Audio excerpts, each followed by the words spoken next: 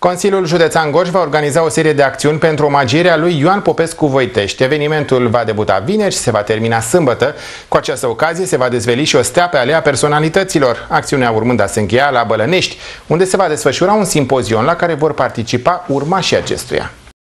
Vicepreședintele Consiliului Județean Gorj, Gheorghe Nichifor, a precizat programul manifestărilor dedicate lui Ioan Popescu Voitești. Împreună cu Universitatea Constantin Brâncuș, Muzeul Județean Alexandru Ștefulescu, Primăria Târgu Jiu, Primăria Bălănești, Consiliul Județean realizează uh, două zile de omagiere care vor începe vineri la 9.30 în Amfiteatru 016 al uh, Universității Constantin Brâncuș prin uh, dezvelirea unui portret al lui uh, Ion Popescu Voitești și prin acordarea denumirii de Ion Popescu Voitești unui anfiteatru, apoi prin alocuțiunile oficialităților locale și un simpozion dedicat uh, savantului de la Bălănești. Președintele Consiliului Județean Gorj, Cosmin Popescu, a venit cu o veste bună. Eu personal am avut o discuție acum trei săptămâni la Ministerul Dezvoltării,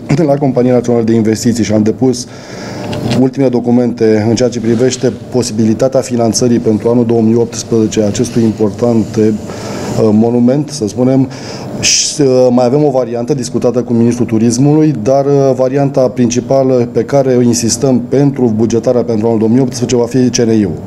Au un program separat de finanțare tot ce înseamnă pentru partea de cultură și cred că vom obține finanțarea pentru că se va întinde pe perioada 2 ani de zile, de, de plecând de la proiectare și execuție.